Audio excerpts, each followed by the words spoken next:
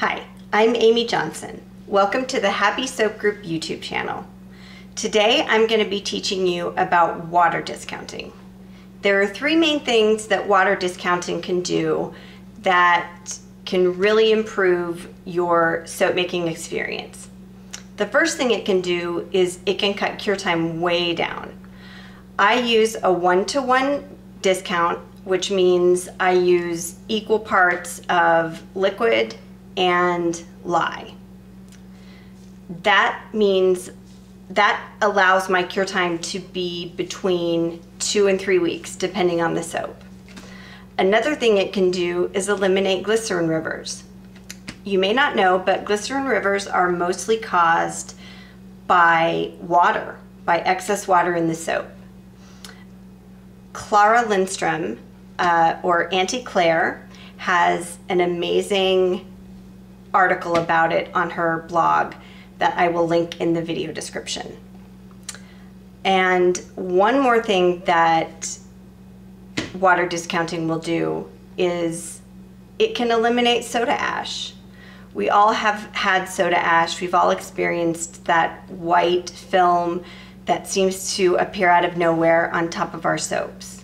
That's typically caused by excess water in your soap Today we're going to be making Vanillary soap by, the fragrance is by Nurture Soap Supply, but it is a Lush dupe.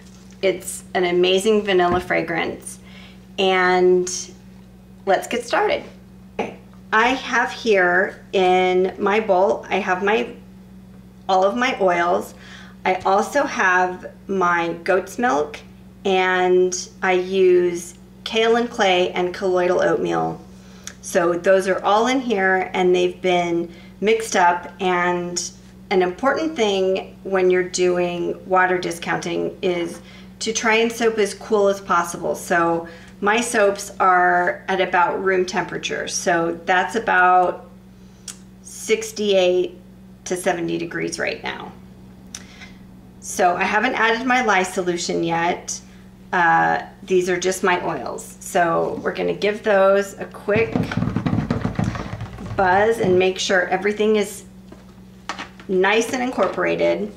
Uh, when you're using a water discount, another thing that's really important to remember is you wanna use your stick blender as little as possible because the more you stick blend, the faster something is going to come to trace. And using a water discount will cause your soap to accelerate faster than it would if you were using full water.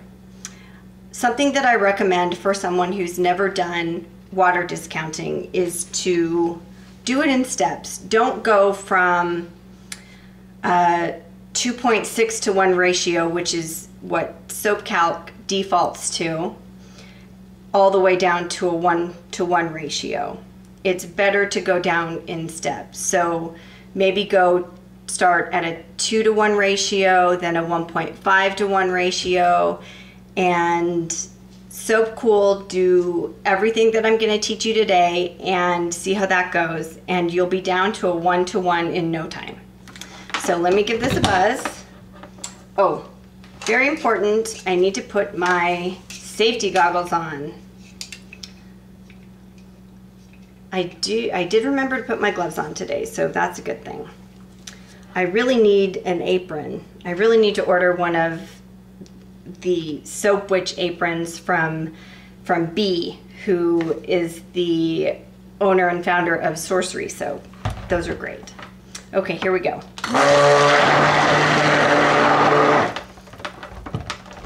Okay, so it looks like everything is really well incorporated in there.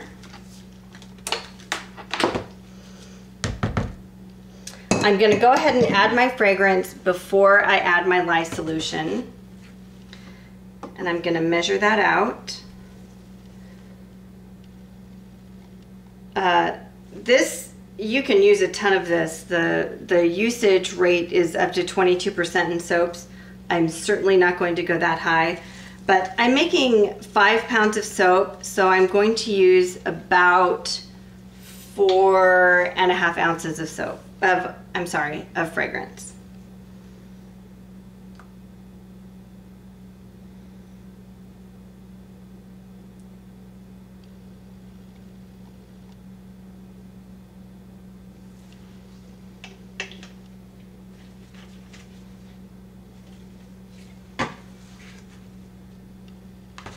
and then I will blend that in. Always make sure to burp your stick blender. It just helps get keep some of those air bubbles out of your soap.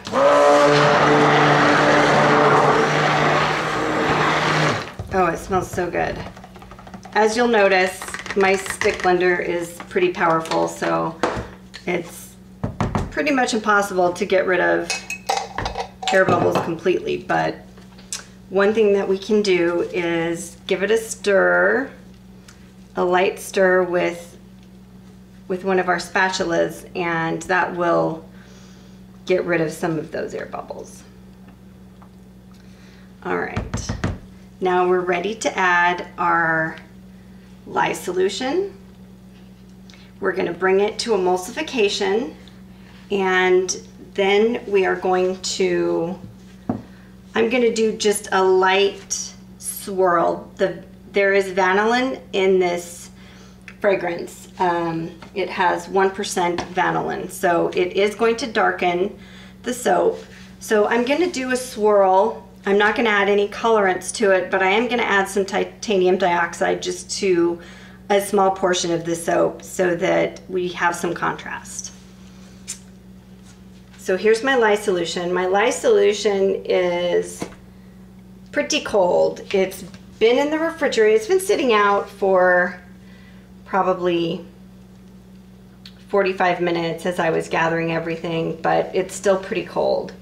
Um, I do refrigerate it and sometimes I soap with it right out of the refrigerator and that really helps especially if you're working with uh, fragrances that really accelerate. This is a really well behaved scent so I don't have to worry about that. So we're gonna pour our lye solution in. And because all of my oils and everything are already emulsified, you're not gonna need to stick blend it very much to get to emulsification. That's really important if you're using a fragrance that tends to be fussy, uh, something that wants to accelerate really fast. Now, the way I'm gonna know, you have to watch really closely, the way that you'll know that your soap is emulsified is there's a very subtle color change once the lye is completely incorporated into your oils. So here I go.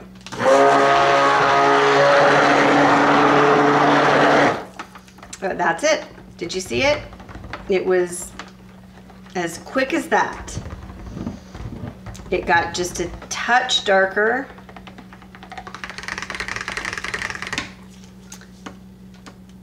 And I actually will stick blend this a little bit more um, before I pour it because I want to be able to texturize the top and I don't want to have to wait forever. But I'm going to leave it like this until I get my portion with the titanium dioxide done. So we're going to do about that much with titanium dioxide. Titanium dioxide will um, accelerate your fragrances, uh, not your fragrance, but your batter um, a little bit. Well, it could do it a lot depending on how much you're using. And I don't really measure. I just squirt in about as much as I think I need.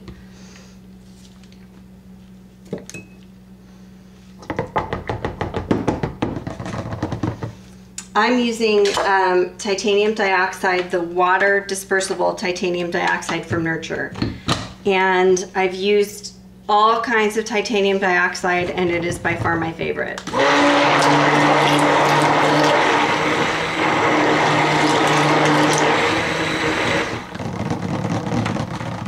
I never have any issues with it uh, not dispersing or, you know, getting specks or streaks. So it's really great about that. Okay, I'm gonna blend this a little more just to kind of get it caught up to the same consistency as the portion with the titanium dioxide in it.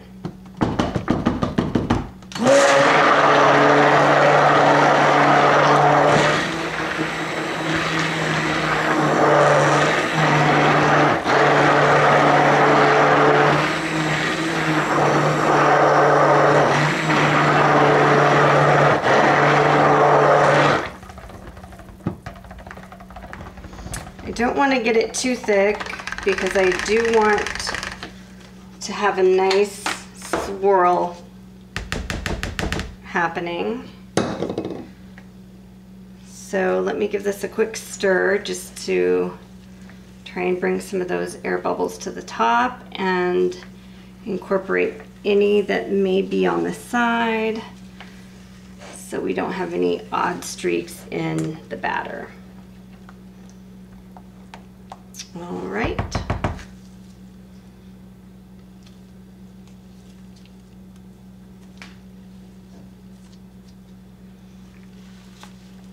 I always wear a handy towel on my shoulder just so that I can wipe my fingers off without having to grab a towel.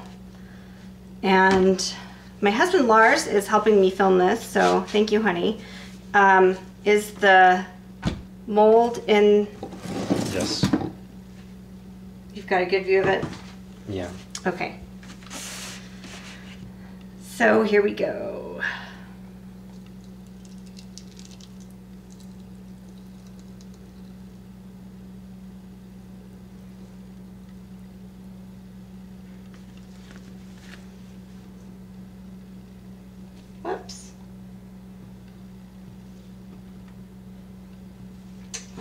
Shouldn't have put that in there until I.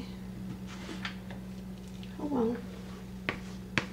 It's all going in the same batch. So no worries.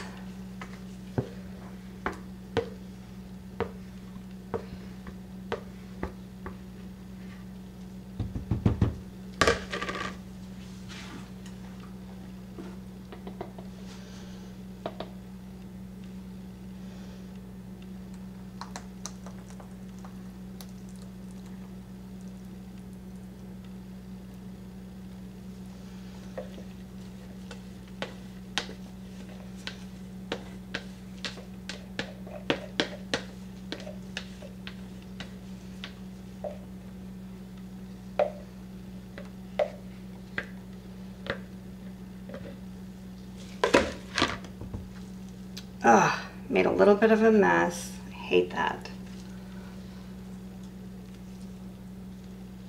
I am a pretty neat soaper, but that's what paper towels are for, right?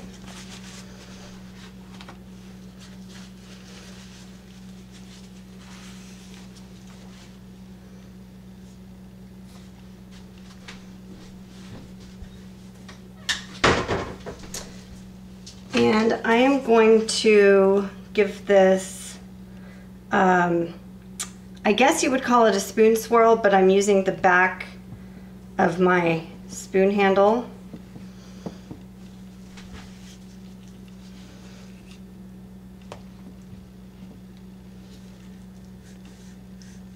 And that's it. We're gonna have to wait um, just a few minutes, probably 10 minutes or so, for the batter to thicken up enough for me to uh, texturize the top. And I will bring you back as soon as it's ready for, as soon as it's ready to do that.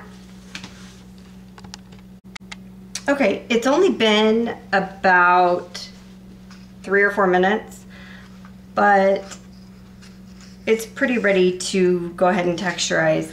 Um, unfortunately, I did not make the white portion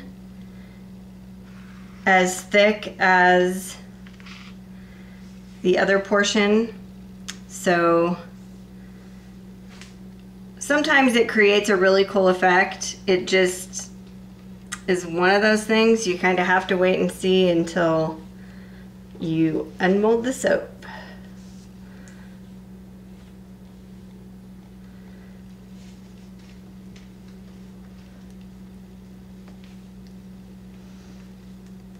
Boy, that white is runny. I can't believe that.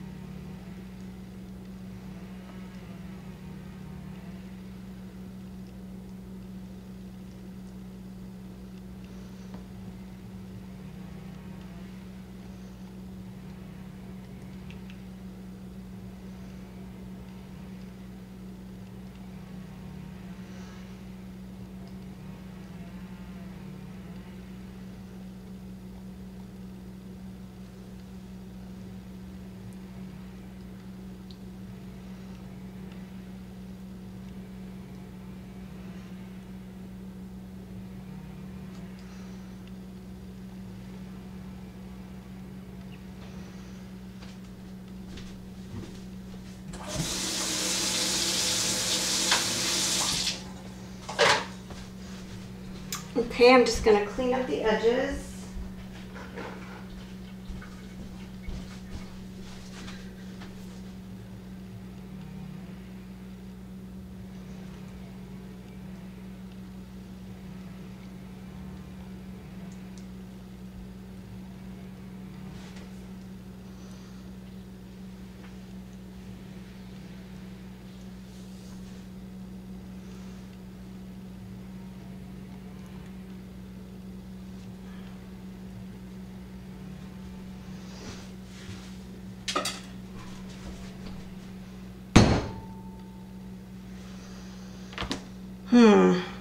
Not happy with this at all.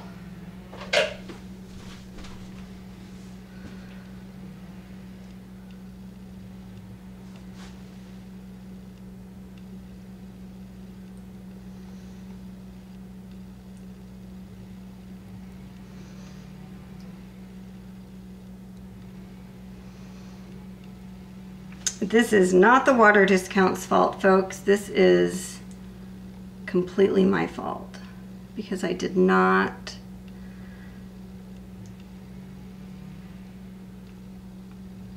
I did not get the portion with the titanium dioxide in the right to the right consistency. So it is what it is. It will still be wonderful usable soap and hopefully you've learned how to do water discounts and remember to get the consistency of all of your soap the same. I am now going to pop this in the oven with the light on and I will bring you back uh, in several hours. It'll probably take six to eight hours for this to be ready to unmold and I will cut it for you. Thanks for watching. Hello. I am back for the cutting video of the Vanillary soap made with the water discount. And it has been about 12 hours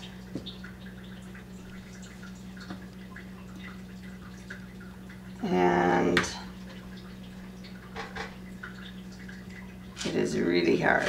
I didn't want to get up at 3 o'clock in the morning to cut it, sorry.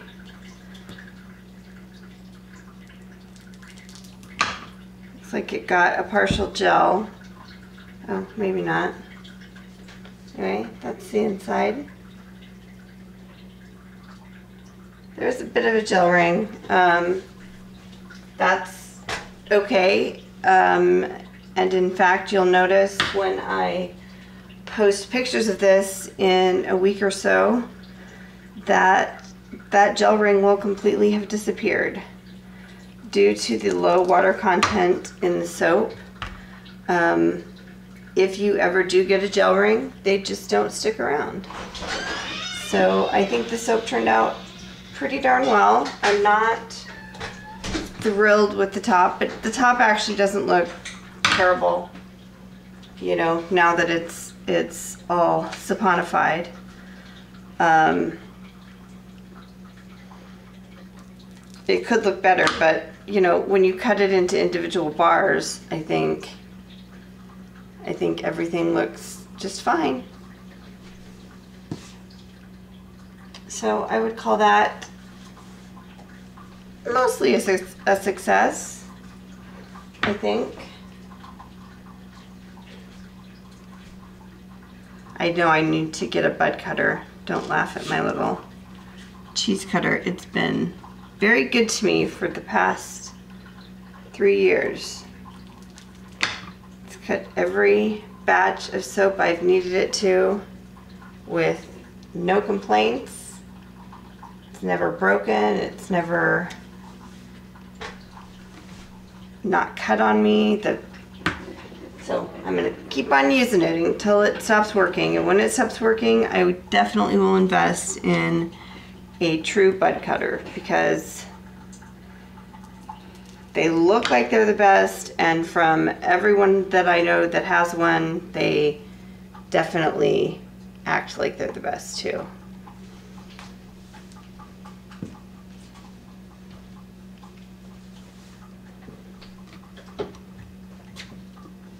Soap still smells amazing. It's a very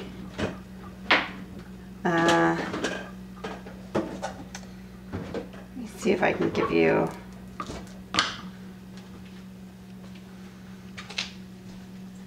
It's a very true vanilla scent. It's um,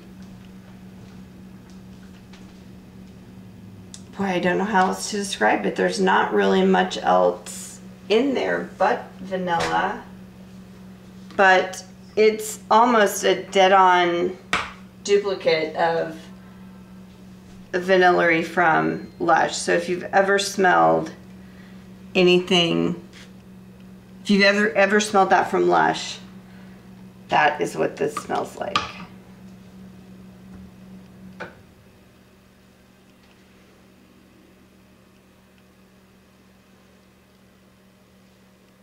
Well, it looks like my battery died right as I was finishing cutting that loaf of vanillary soap with the water discount. But I wanted to thank everyone for watching the Happy Soap Group YouTube channel. And if you like this video, please like and subscribe. Thanks a lot.